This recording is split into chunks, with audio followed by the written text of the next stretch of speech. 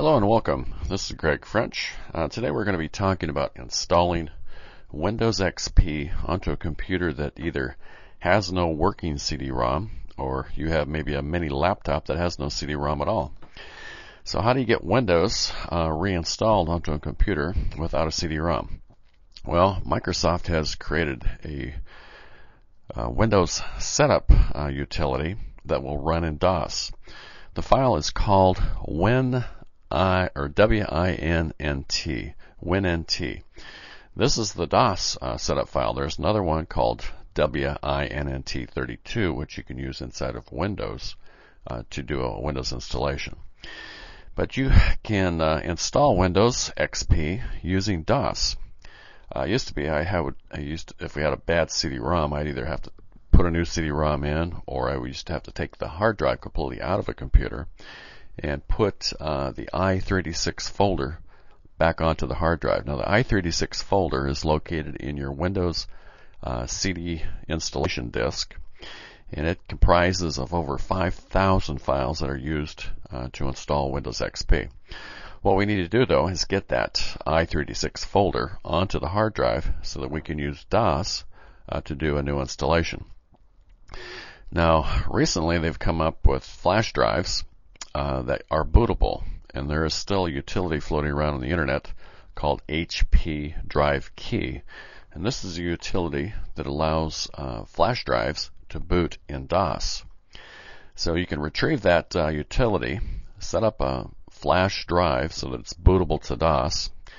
Most computers today, you can change the BIOS so that your first boot device is a flash drive. First, you need to do that and make sure you have a computer that will boot uh, to a flash drive. But once you get a flash drive set up and it's bootable, you need to copy the i386 folder from an, uh, a CD installation, Windows installation disk, onto the flash drive. After you get it onto the flash drive, then you can boot the computer that doesn't have a CD-ROM to the flash drive.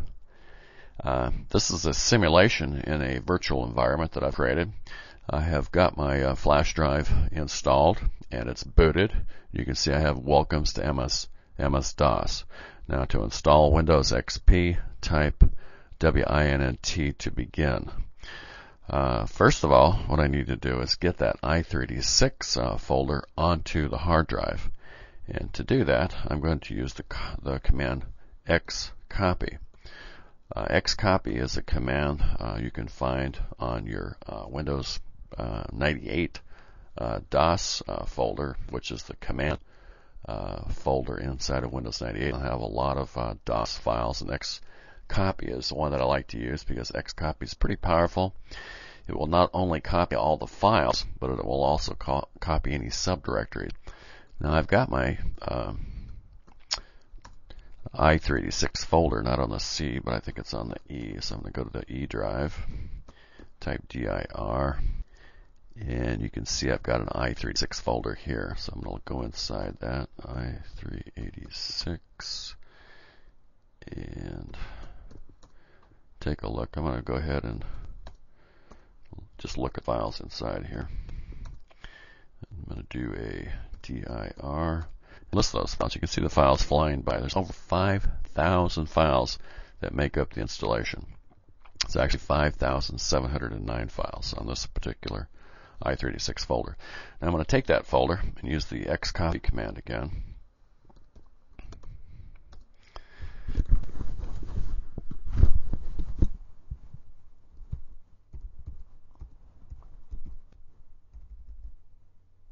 I'm going to create a folder on my uh, C drive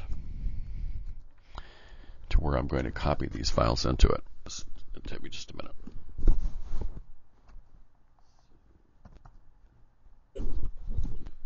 Now I'm doing my copying of files from my i386 folder, created a folder on my C drive called i386 so I can get all these um, files copied over to the hard drive.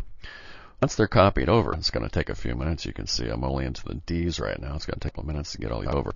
Another tip uh, you should you should be aware of is there's another, there's another file called Smart Drive, S M A R T D R V dot exe.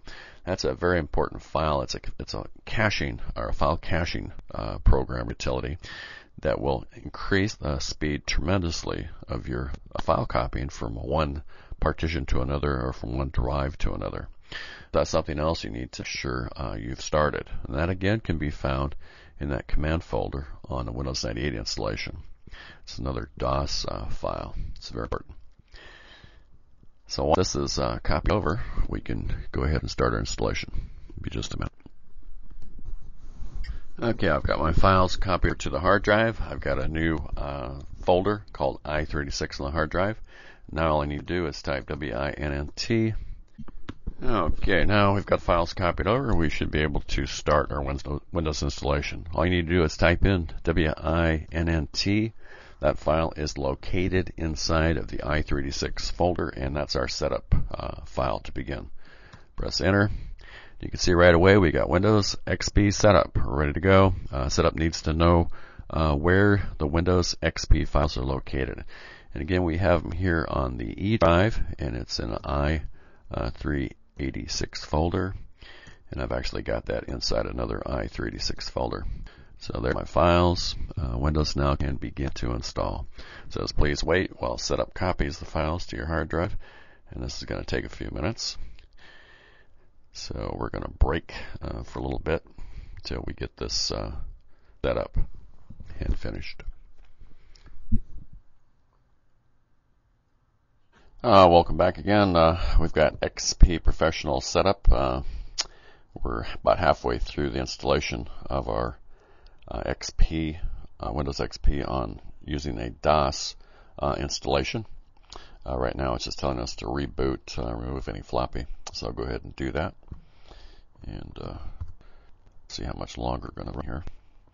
And we've got this excellent upgrade. Inspector computer. And went back into the setup. And we'll take a break here and turn it.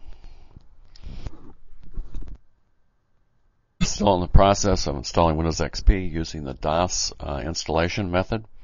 Uh, this is going to take a, a, few minutes, uh, so we're going to go ahead and end this uh, segment for right now. Uh, again, this is uh, another way to install Windows XP onto your computer using DOS. this is real handy in case you don't have a CD-ROM on your computer or your CD-ROM is not operational. Uh, this is a procedure I use in my lab quite a bit. Uh, we do have CD-ROMs that fail from time to time, and instead of taking the time to uh, pull them out and replace them, sometimes I need to get the computers uh, back up right away so I can I can use this uh, procedure just using the flash drive and installing Windows XP. I hope this helps. Thank you very much for your time. Bye.